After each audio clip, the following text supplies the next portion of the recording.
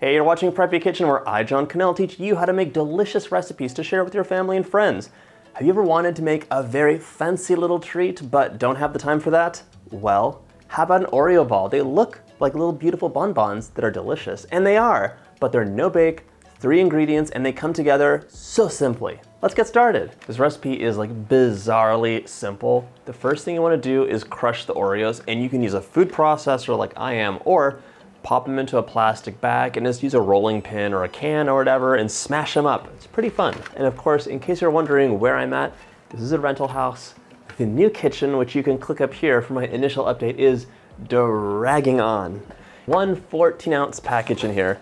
And if you're wondering who these are for, Brian is obsessed with Oreo cookies. They are amazing in things like buttercream, and it turns the buttercream into magic click up here for my Oreo cake. It has like Oreos in the batter, it has Oreos in the buttercream, and it is one of the most popular Preppy Kitchen cakes. So if I'm saying that, you know, it's gotta be good. All right, I'm gonna get this on. It's not gonna be like the Instant Pot. there we go. Okay, pulse, pulse, pulse. Pulse, pulse, pulse, pulse. I actually like leaving some bigger chunks in here because you get like a little crunch. The rest of them kind of like become this like Oreo cakey situation, but if you have some of the bigger pieces in, you can have some crunch, and I think that's really good. Carefully remove this, and we're gonna have our stand mixer now. You could also make this with a hand beater or a hand mixer. Into my stand mixer, fitted with a paddle attachment, I'm adding in eight ounces of room temperature-ish cream cheese. I'm gonna cream it up a little bit first. It is just a bit chilsy. All right, so let's cream that up. One of my dream frostings is cream cheese frosting. It's so good that I almost never make it because bad things happen. All right, pop that in here. Oh, wait, wait, wait, wait, wait, hold up. I forgot, I'm supposed to reserve a little bit of this, which I'll do right now, it's okay. Just a couple tablespoons because we're gonna use some of this um, ground up Oreo situation here for a decoration at the end. So just reserve like one or two cookies worth of crumbs. And now we're going to mix it up on low. Every time I turn the stand mixer on, I'm like, what will happen next? This reminds me of making my mud pie. You can click up here for that recipe. It is like the most sinfully decadent chocolate pie with an Oreo crust. Mm. Okay, that's pretty good. It really just needs to mix up. There's nothing else that's happening there. And should I give it a little taste? I haven't had dinner yet, I'm so. It's one, crunchy, creamy, sweet, and the cream cheese has that wonderful tang to it. So it's just really balanced, like your whole mouth is like bursting with joy. We probably have a couple unmixed pieces in here. We can just do that by hand. I don't want to overmix this and turn it into an Oreo soup yeah, see like right here, there's just a little bit of extra cream cheese. We can just fold that in. Set this aside now, remove this situation. Now, in your clean hands, what you're gonna wanna do is just roll little Oreo balls, and they don't have to be perfect because you can give them like a second roll after you chill them. And you know, no one cares if they're imperfect anyways. These things are like crazy delicious. So just enjoy. And they're gonna look great when they're dipped anyways. Do you have to dip these? No, you don't have to dip these. You could eat them just like this. You could roll them in cocoa powder. You could roll them in the Oreo crumbs. We'll do a different, we'll, we'll do some different things. I'll show you some in a minute. Yeah, if you wanted to go crazy, this could be a no-bake crust that you do for like a cheesecake or for an Oreo cheesecake. Blow some minds. Do you want me to make an Oreo cheesecake for you? Let me know in the comments if that's a recipe I should prioritize and put at the top of my list. I'm always looking for suggestions because I've been making a lot of recipes for the blog. Have you noticed? You go to preppykitchen.com? I'm gonna put a poll up here so you can let me know if you actually go to the website. But just so you know, I only get to make a fraction of the recipes as YouTube videos, not because I don't want to, but just because it takes a lot of time to like make these videos, to edit them, and then like there's some behind the scenes magic that has to happen too. So there's just so many recipes without videos. You can always let me know in the comments or the community tab if there is a special recipe that you'd like me to do, especially if it's from the blog. These look so delicious already. I love seeing like little globs of cream cheese poking through too because it reminds me of the Oreo filling, so I get excited.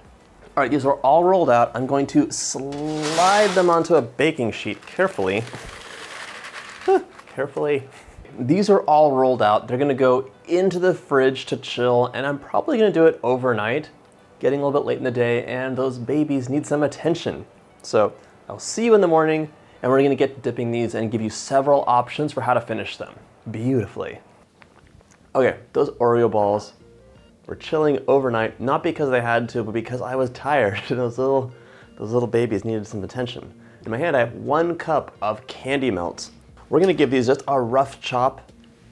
You don't really have to, but I want this to um, melt pretty quickly and for a nice dipping consistency, you want the candy melt to be pretty thin. So I might even add a little vegetable oil to it to thin it out. So the nice thing about candy melt is that you just pop it in the microwave, you melt it, and then you can dip things in it, you could pour it on, and it forms a hard shell. For chocolate, you have to temper it for that nice crack, and it's totally an ordeal. I've tempered chocolate before. It's not the end of the world, but for an Oreo ball, it's not gonna happen. Okay, that's totally good to pop this into a microwave safe bowl. And we're just gonna take it onto the microwave on some low bursts.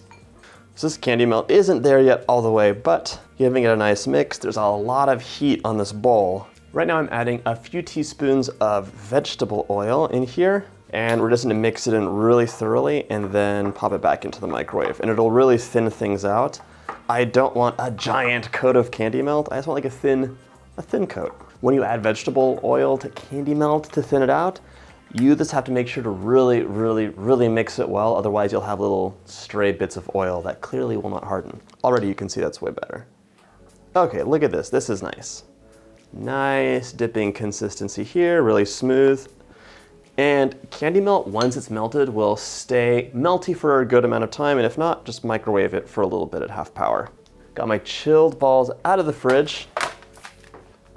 And now we're just going to impale them on our skewer. There we go. and I think what we're gonna do is tap off the excess and then place, to decorate them, I'm gonna do a couple different things. This is my reserved Oreo bit, so I'm just gonna sprinkle a little bit of Oreo on top. And look at that. What is that? A professional bonbon from a Parisian chocolatier? No, it's an Oreo ball. Make sure you sprinkle right away because the candy melt will dry and then you won't be able to have anything adhere to it. All right, so for this one, we're going to take it off again, transfer it over, but now let's give it a little drizzle of chocolat. It'll be a nice contrast as well. Okay, so I melted a little bit of chocolate, just a couple tablespoons is all you need, and you can either put it in a plastic bag, snip the tip off and squeeze it out. That includes a piping bag, or if you don't have any of those things for some reason, then you can just spoon it over. You just want to get the drizzle started and then drizzle it over like that. Whoa. That'll look nice. That ends up looking really nice. I didn't temper that chocolate, so it will melt in your fingers, so eat them quick. Another easy option is just to add a couple tablespoons of cocoa powder to a bowl and you can roll the balls around in them, just like a regular truffle. Now you have a fancy treat. Look at that. You can also roll these in powdered sugar. Wow. It's the Oreo version of a Russian tea cake. It's always a sign of a good dessert when there's barely enough left to photograph at the end of it. By the by, I think Brian is gonna love them. This hits all the Oreo buttons. If you like this recipe, check out my chocolate playlist. It has all my favorite chocolate recipes and in the meantime, I'll be taking a bite.